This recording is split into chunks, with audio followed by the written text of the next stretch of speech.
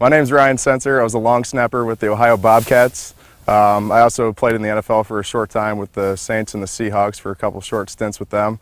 Uh, currently, I'm with, in the UFL with the Florida Tuskers as a long snapper. And uh, today I'm going to help you guys out, trying to coach up your long snappers. We're going to start with alignment and stance and then move into the grip and the snap and the post snaps. So the first thing I'd like to talk about today is the approach to the ball. Uh, the, one of the worst things that a long snapper can do is when he's practicing is getting a routine of just snapping, snapping, snapping, and just staying in the same spot. And uh, you know they're just they're that's never going to happen in a game. In a game situation, you're going to run in from the sideline.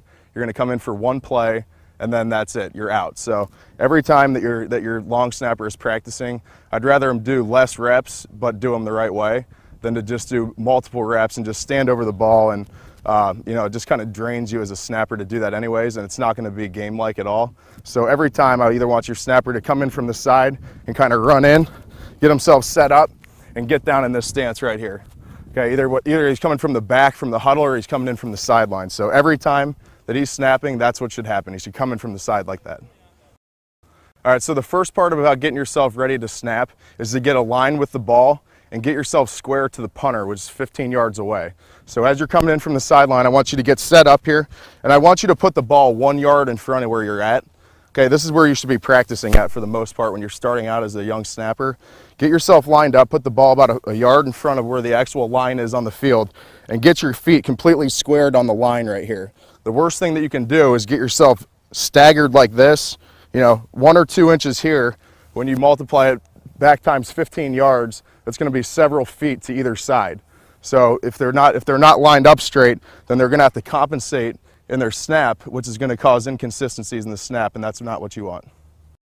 As you get as you get set up over the ball, like I said, you're going to get yourself nice and square here. You're going to get down, have your snapper get real comfortable in this position right here.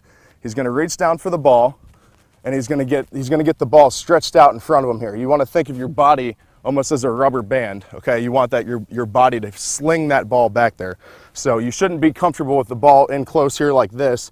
These arms need to be extended almost all the way out, maybe a slight bend in the elbows, but almost extended all the way out, and your back should be flat. There shouldn't be a hump in your back like this. It should be flat here like this, so you can almost lay something across my bot on, the, on my back here.